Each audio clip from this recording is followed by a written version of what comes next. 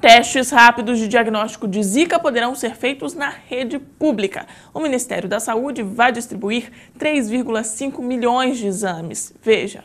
Os kits poderão identificar a infecção pelo vírus Zika em apenas 20 minutos. Os testes serão distribuídos pelo Ministério da Saúde para as unidades da rede pública do país. A princípio, serão priorizados os locais com maior incidência do vírus. Gestantes, crianças de até um ano e pessoas com doenças graves também terão prioridade. O teste também poderá ser feito em mulheres que queiram ter filhos para saber se já tiveram ou não a doença. Até o fim do ano, 2 milhões de kits devem ser distribuídos em todo o país e mais de 1 milhão e meio serão entregues até fevereiro de 2017.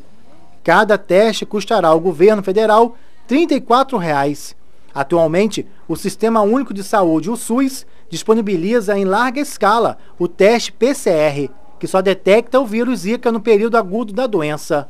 O vírus Zika começou a circular no Brasil em 2014, mas só teve os primeiros registros feitos pelo Ministério da Saúde em 2015.